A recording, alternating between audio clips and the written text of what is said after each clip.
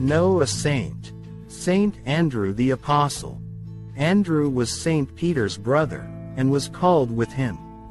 John the Evangelist presents Andrew as a disciple of John the Baptist.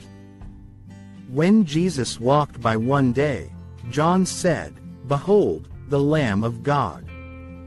Andrew and another disciple followed Jesus. Jesus turned and saw them following him and said to them, What are you looking for? They said to him, Rabbi, where are you staying? He said to them, Come, and you will see. So they went and saw where he was staying, and they stayed with him that day. Little else is said about Andrew in the Gospels.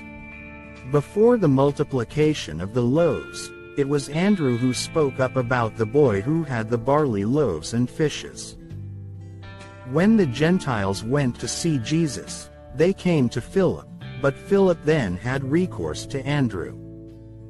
Legend has it that Andrew preached the good news in what is now modern Greece and Turkey and was crucified at Patras on an X-shaped cross. Andrew's remains were originally preserved at Patras. However, some believe Saint Regulus, who was a monk at Patras, received a vision telling him to hide some of Andrew's bones. Shortly after Regulus' dream, many of Andrew's relics were transferred to Constantinople by order of Roman Emperor Constantius II around 357.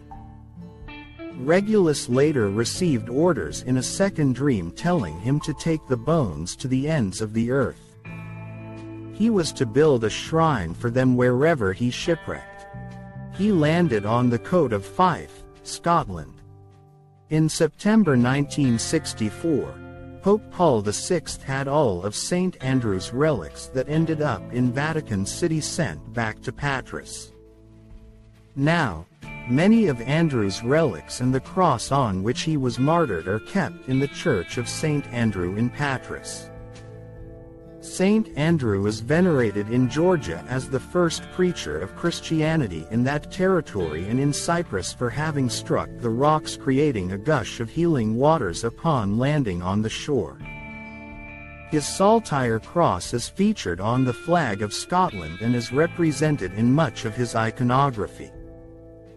He is commonly portrayed as an old man with long white hair and a beard, often holding the Gospel book or a scroll. Saint Andrew is the patron saint of fishermen and singers.